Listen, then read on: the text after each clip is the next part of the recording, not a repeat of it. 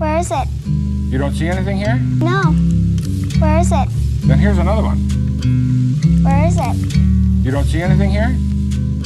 Then here's another one. And you don't see any picture there? Where is it? And you don't see any picture there? No. Here's the other one. Now you hold it like this and adjust it around until you... Um, I can almost see something. With your hand out there? I'm trying to reach out Just why?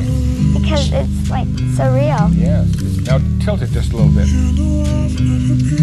See what happened? Yeah, it moves. Yes. Yeah, neat. So that's one uh, of the unusual pictures that you said you couldn't see before, but you now can see very well.